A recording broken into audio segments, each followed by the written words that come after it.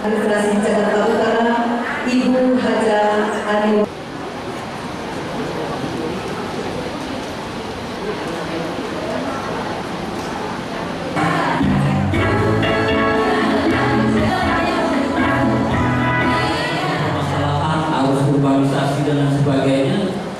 itu membuat Jakarta itu memiliki, tidak memiliki daya dukung ya, untuk mengatasi segala permasalahan seperti ya masalah penang tadi masalah banjir, masalah kemacetan, kemudian masalah informasi birokrasi dan lain sebagainya.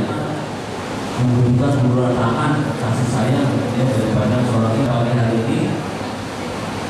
Kemudian eh, bagi warga yang wajib KJP dan wajib KJP EW, tolong jadi mata-mata